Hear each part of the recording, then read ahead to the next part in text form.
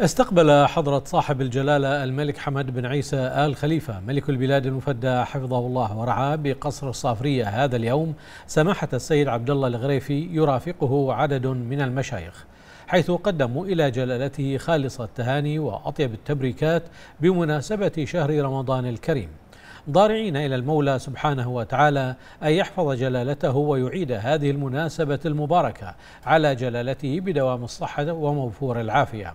وأن يديم الخير والأمان على مملكة البحرين وشعبها العزيز بالمزيد من التقدم والازدهار. وقد رحب حضرة صاحب الجلالة بالجميع وبادلهم التهاني بهذا الشهر الفضيل داعيا الله سبحانه أن يعيد هذه المناسبة الطيبة على شعب البحرين والمقيمين على أرضها الغالية بالخير والبركات.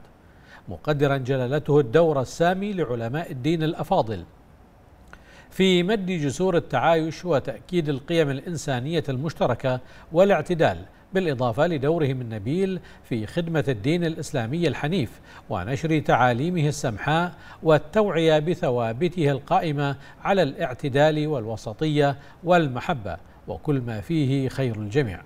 مضيفا رعاه الله أن مملكة البحرين تفخر بكونها نموذجا للتواصل والتسامح والعيش المشترك وتحتضن الجميع دون تمييز وستبقى بإذن الله بلدا للتعايش والمحبة بين مختلف الأديان والمذاهب والشعوب القائم على احترام الجميع.